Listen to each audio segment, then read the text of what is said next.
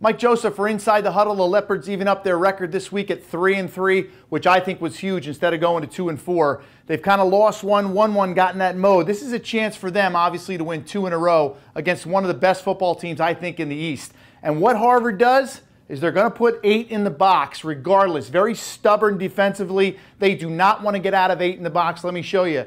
If Lafayette lines up with a tight end, fullback, tailback, they don't do it very often, you're going to see eight in the box. There's your four down linemen. Four of the best pass rushers you're going to see, whether it's William and Mary or Wagner or whoever. These front four are an excellent bunch of guys.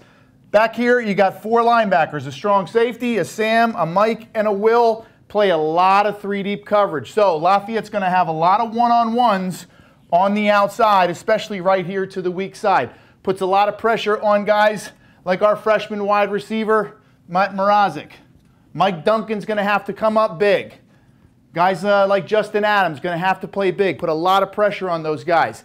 If we go to two tight ends, one back in the backfield, they will stay in the eight-man front. And why do they do that? Because you have seven to block eight.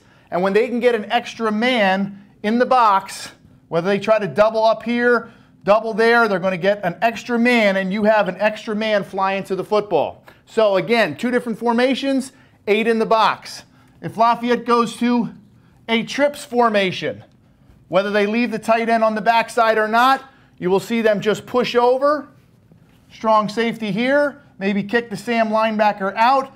Mike, Will, and the backside corner. Again, eight in the box. The ability maybe for Lafayette to run the bubble screen or to run a little comeback by Dixon. So look for Lafayette this week to work outside in first. Try to get the ball to Ross Sherman on maybe a swing pass, things like that. Even if we split the backside, a perfect opportunity for Lafayette right now to use some one-on-one. You saw this a lot last year with Mark Ross.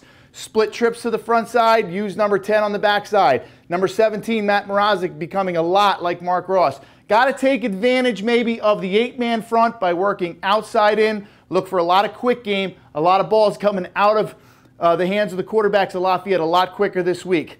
Up at Harvard, 1 o'clock.